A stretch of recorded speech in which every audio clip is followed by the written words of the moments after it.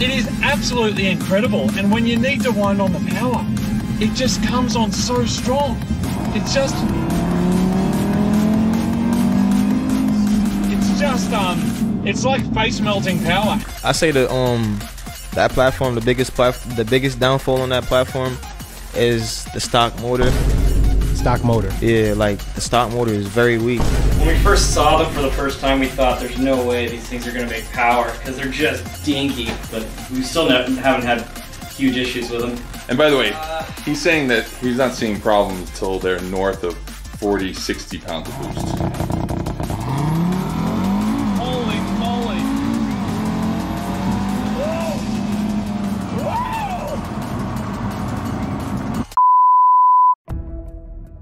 Vorsprung durch Technik, progress through technology.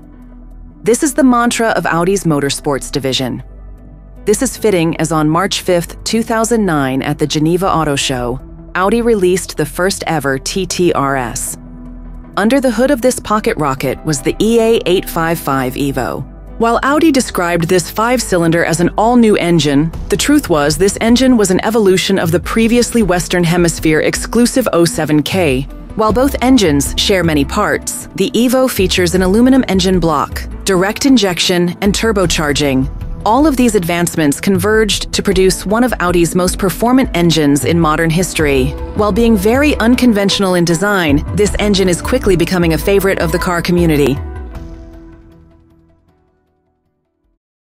The Audi Daza is truly unlike any other engine that's available on the market right now. The Daza is an inline 5-cylinder, and just based on having an odd number of cylinders, the Daza has truly cemented itself as a notable engine. But once you start to look below the surface, you'll start to see that simply celebrating that this engine has 5 cylinders is actually just a massive distraction from the supercar engineering that went into this engine. Now, before we get too deep into this video, we need to establish what is a Daza and where did it come from. Typically when I make these videos, I try not to repeat myself too much, but I'm gonna make an exception here because according to the YouTube algorithm, the last video that I made was on a subject that car guys aren't really interested in, so there's a big chance that you guys actually didn't hear me say this last time because, well, nobody watched that video. Bruh. So like I said in the LS video, the car community has a habit of giving car parts and even entire engines nicknames. And the Audi Daza is a perfect example of this. The actual name of the Volkswagen 5-cylinder is the EA855, and just like most other manufacturers, VW made a ton of variations of this engine depending on what chassis it was going into. Now how VW labels these variants is by using a prefix code followed by either a 3 or 4 digit ID code. Most people in the car community use the prefix code of 07K when referring to the naturally aspirated EA855. And then when referring to the turbocharged EA855 Evo, most people use the name Daza, even though this engine is also an 07K. The EA855 Evo has about 7 different ID codes, but the most widely known engine ID code is DAZA, or as the car community calls it, DAZA. So just for clarity, on my channel going forward, whenever I use the name 07K, I'm referring to the naturally aspirated variants of the EA855, and then when I use the name DAZA, I'm referring to the turbocharged versions, or the EA855 Evo. Now, when trying to figure out where the design of the Daza comes from, you'll hear a lot of people say things like this. Powering this Volkswagen is a 2.5 litre inline five cylinder engine that makes around 400 horsepower. You get the V10 engine out of a Lamborghini Huracan or an Audi R8 V10, you cut it in half, and that is exactly what is in the engine bay of that little mini supercar. Now, I absolutely love Mighty Car Mods. Is one of my favorite channels on YouTube. So, if you are a car guy, go subscribe to their channel. These guys are legit. But even though I do love Marty and Moog's channel, I think Moog might be wrong here. So let's look at the evidence and try to figure out where this engine comes from. So our first line of evidence is, well, the name. The Daza, like I said, is actually named the EA855 Evo. And that's because it's an evolution of the naturally aspirated EA855. So if this engine was some type of variant of the Lamborghini Huracan's engine, Volkswagen would have reflected that in the name of the engine. Secondly, if you look at the design of the Daza and the Huracan's engine, there are some similarities, but there are a lot of differences as well. The most significant differences are in the bottom end of the engine. If you were to literally just cut a Huracan's engine in half, the engine that you would come up with would be dimensionally different from the Daza. And that's because the Daza and the Lamborghini Huracan do not share the same bore spacing. So, why is that the case? Well, I think this is where a lot of the confusion comes in because I think a lot of people have forgotten or just simply don't really know where the heritage of the Lamborghini V10 comes from. Now, I'm sure most of you guys are aware that the Lamborghini Huracan and its predecessor, the Lamborghini Gallardo, both of these engines have a 5.2 liter V10 engine. This engine is also shared with a few different Audi models as well. But I think what a lot of people forget is that the Gallardo started life with a 5 liter V10 before the 5.2 was introduced. And the misconception that I commonly see is that people think that when it was time to make the 5.2, Lamborghini just simply took the 5 liter and just made it slightly larger. And that's actually not the case. The 5 liter Lamborghini engine appears to have been developed by Lamborghini without too much influence from Audi. And then in 2008, when the Gallardo got a facelift, which also coincided with the launch of the Audi R8, the Gallardo got an all new 5.2 liter V10 that was not based on the 5 liter V10. So as a result, these are completely different engines. And in fact, if you listen to these two engines back to back, you can actually tell a notable difference in how these engines sound.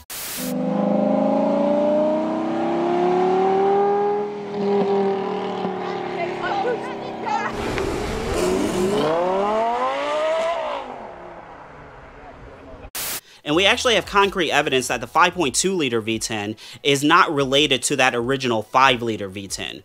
Because if you look in Volkswagen's own service manuals for the 5.2 liter V10s, they say that this engine was developed from the architecture of the 4.2 liter V8 which is why all of the 5.2 liter V10s and all of the 4.2 liter V8s share the same bore, stroke, and bore centers. It's because they all come from the same developmental pipeline. I think a lot of it is urban legend on what on what people sort of think is Lambo engine.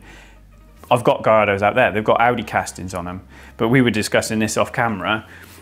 You know, it's like the old days when Hondas used to have Rovers used to have Honda engines in. So I think it's I think it's when the relationship started and when it became an Audi Lamborghini engine. For me, LP560, that was the first one to have an R8 engine in, or the R8 had uh, the Lamborghini engine in, whichever way you want to look at it. For me, it's an R8 engine in a Lamborghini, in an LP, because it was made in Neckarsulm, which is an Audi factory. So that's how I see it. The five litre, that sits on its own. Nothing else has it. Nothing else uses it. That is just in five litre Gallardo. Now, if we get back to the 07K and the Daza, when you start to look at the design and the architecture of those engine blocks, you'll start to notice that they are most similar to the original 5-liter V10 from the 2003 Lamborghini Gallardo. All of these engines have the same exact bore, stroke, and bore spacing. And then when you look at the valve train, the cylinder head of the naturally aspirated 07K is incredibly similar to the original 5-liter Gallardo V10, and the cylinder head on the Daza is incredibly similar to the current cylinder head on the Lamborghini Huracan. So at the end of the day, I don't think we can fully say that the Daza is literally half of the Huracan engine, but honestly, I don't think that's a bad thing. When you look at the Daza, its engineering doesn't seem to just be a copy and paste of the Huracan's engine. The Daza actually looks more like a collection of all of the engineering that went into the various Lamborghini V10s. And arguably to me, that's a lot cooler than just cutting the Huracan's engine in half. Because to me, that means it's fair to say that the Daza is the most highly evolved version of that original 5 liter V10 platform. And it's just insane that you can get all of that engineering in just an admittedly normal compact sedan like the RS3. When looking at the construction of the Daza, this is a 5-cylinder engine with an aluminum block and spray-on cylinder liners, although some early models of this engine had cast iron blocks.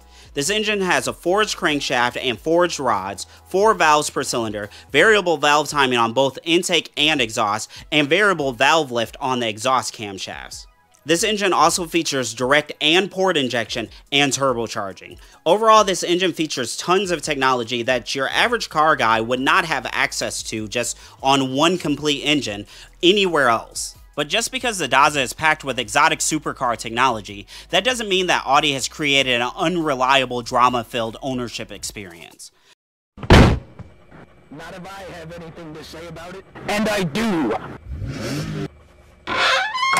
All right, so pretty much every time I make a video about an Audi product, you guys complain about how I say Audi.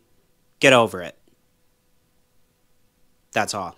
Like I said before, the Daza is actually based on the Volkswagen 07K. And as someone who currently owns three Volkswagen products, I typically stay away from using the words reliability and Volkswagen together. But the naturally aspirated 07K is probably one of the most reliable, trouble-free engines that Volkswagen has ever produced. And the Daza being an evolution of the 07K inherits a lot of that dependability. The most common issues that Daza owners talk about are leaks. Rather if that's the water pump or the oil pan having some drippage, those are pretty much your big issues. It is worth noting though that early TTRS engines, so we're talking about from 2009 to about 2014, these engines can suffer from carbon buildup issues, and that's because these early engines only had direct injection. They did not have port injection as well.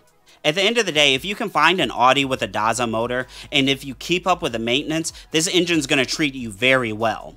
But that's kind of leads us to the biggest problem with the Daza, finding one. Kinda like the S54 from a previous episode of Power Rankings, the Daza is a highly specialized piece of engineering, and as a result, this engine was only used in the top trim levels of a handful of models.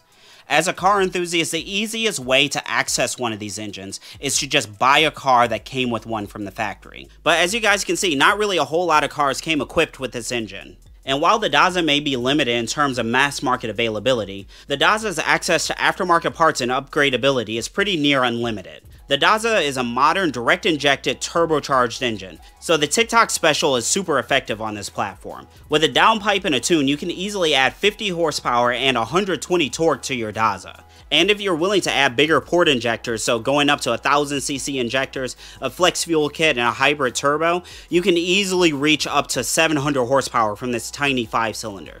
And if you really have the need for excessive displays of power, iROS Motorsports has everything that you need to raise your RS3 or your TTRS to quadruple digit horsepower ranges.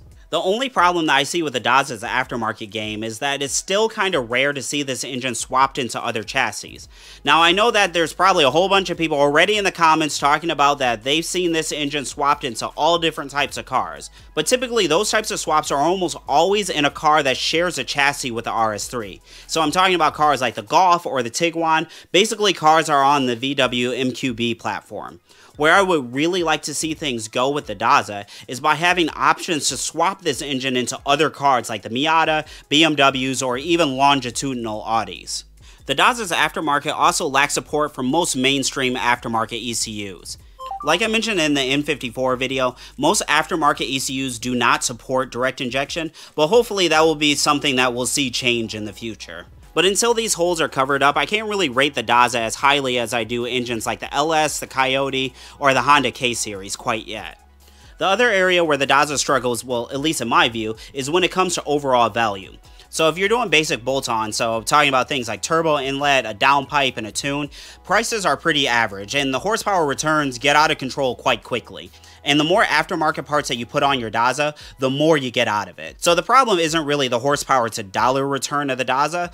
The problem I have is when it comes to getting the engine itself. Unfortunately, at the end of the day, just like a lot of other European engines, the best way to get a Daza is to just buy a car that came with one from the factory. But unlike the N54, where BMW basically just put that engine in everything, the Daza had a very limited release. And like I mentioned before, the Daza was only available in the most expensive trim level of a handful of options. So if you've decided that you just want to buy a complete dropout engine, prepare to have your wallet lightened. These engines are just obscenely expensive, almost to the point where I would describe getting a Daza dropout motor as prohibitively expensive. If you're just looking to get the engine itself, your best option is going to be to look for a crash donor car. Or another viable option is to buy a VW 07K. Like I mentioned before, the Daza is an evolution of the 07K, and as a result, a lot of parts are interchangeable. So if you're a price-conscious car enthusiast and you're not really afraid of building an engine from the ground up, a VW 07K is probably the way that you will want to go. Alright, so before I give my final verdict, I just wanted to point out that there's a new addition to the engine scoring that you guys typically see in this section, and it actually comes from you guys. I'm adding a viewer score, and it's completely based on how many likes that you guys drop on a video. So if the Daza is your favorite engine and you want to see it at the top of the scorecard, drop a like on this video. And then when I go to make future episodes of Power Rankings, right before I go to release it, I'm going to come back and check all of the videos, look at the likes, and then update the scorecards for you guys. But in terms of my personal opinions, where does the Daza rank on my is it worth it scale? Well, from a design perspective, the Daza oozes character. The fact that your average car enthusiast can have access to Lamborghini technology is just absolutely bananas. In stock form, these motors make a tremendous amount of horsepower, and I know every time I say something like this, you guys freak out and like to tell me that 400 horsepower is not a lot of horsepower. But let's just put this into perspective. The current RS3 right now has 97% of the horsepower that the original V8 powered Audi R8 had, and it has 11% more torque, all coming from a 2.5 liter engine in something that's the size of a Jetta. You really just can't exaggerate how impressive this engine is.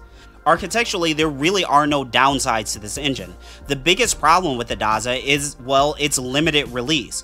But if you're in the market for a TTRS or an RS3, the Daza has serious potential to become one of your new favorite engines.